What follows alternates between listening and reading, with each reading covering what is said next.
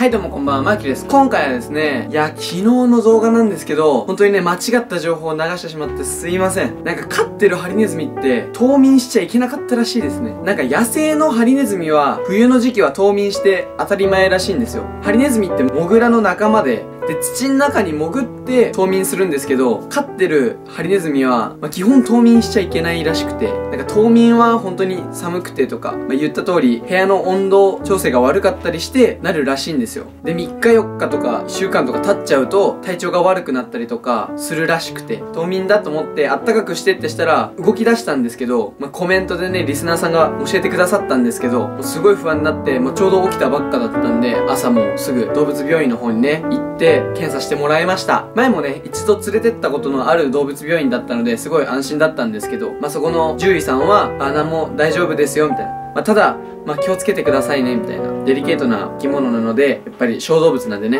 温度管理とかもしっかりして冬眠とかまあこれからないようにできるだけしてあげてくださいっていう風に言われたんで、いやもう本当申し訳ございません。自分が見たネットのあれでは野生のハリネズミの話だったらしくて、いやほんとね、まあ、知識もあまりないままね、飼うのはあんま良くないなって今回本当につくづく思いました。いやもう本当にね、今はもうすごい元気で、お医者さんの方も全然まあ薬とか全然そういうのを渡すほどでもないし、全然体の方は普通ですみたいな、むしろ元気に動いてるぐらいなので大丈夫ですよとのことだったので本当良かったんですけど、すごい今もね、活発に動いてます。今このようにね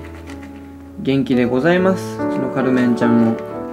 いやよかった。はい、ということでね。いや、ほんとね、コメントでね、来なかったら、ほんと、まあ、あの時、あったかくしてすぐもう動いてって、ご飯もすぐ食べて、水も飲んでってしてたんで、まあよかったんですけど、まあ本当にコメントにね、書いてくれなかったら、あのまんまもし冬眠してたらね、自分ほんと、それが普通なんだと思って、そのまんまにしちゃってたんで、ほんとコメントくださった皆様ほんとありがとうございます。そしてね、もう動物とか飼ってらっしゃる方、もういろんな知識持って、いろんなものに対応できるようにした方がいいですね。でそしてもうほんと冬眠するなんてもう誤った情報を流してしまってほんとすいません。これ以降ね、ないように調べてから動画をね、回していこうかなと思います。はい、ということで今回はですね、誤った情報を流してしまって申し訳ございませんっていうのと、カルメンは元気に今起きております。ということで皆さんもね、気をつけるようにしましょう。本当ね、自分もちゃんと調べてやっていきたいと思います。それでは次の動画で会いましょう。じゃあね